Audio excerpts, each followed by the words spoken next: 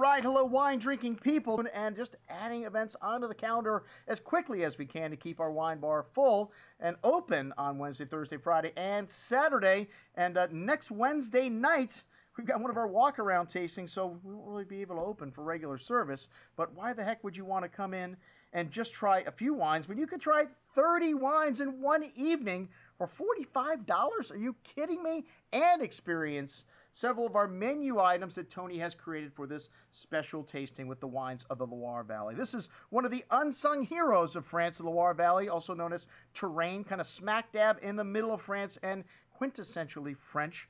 Uh, the region the past favored by kings and uh, the economically elite. And some of the wines here, you'd never know the economically elite lived here because these are some of the greatest values in all of France and all of the world. The sparkling wines they produce here, outstanding. Like this Bouvet, what a great value these wines are for 10 to 15 bucks. Method Champenoise sparkling wine. They're not aged as long, but still they undergo that same process, that same attention to detail and care given to champagne. And uh, like I said, just a fraction of the cost. We've got Sauvignon Blanc at its finest. When you look at Sancerre and Pouilly-Fumé, two textbooks examples of this varietal, and the Loire Valley does it as good as anybody in the world. And again, A lot of Sancerres in the store from twenty to thirty dollars a bottle. I think the most expensive one, well, they have the Cuvée L, um, and a couple of them that are expensive. The Didier Dagueneau ones are in the hundred dollar price range. But you really have to look hard to find a hundred dollar wines from the Loire Valley. They're not all over the place. You've got more values here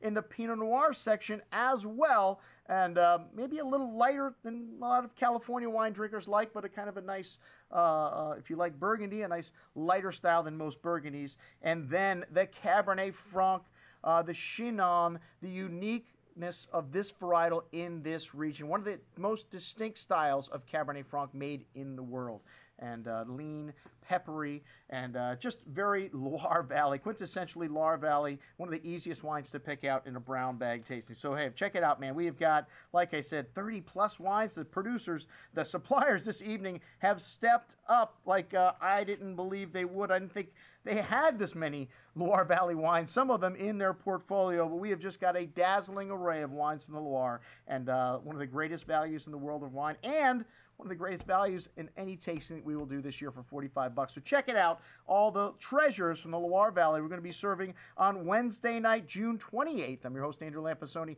signing off for the Wine Watch, saying remember, always drink the good stuff first.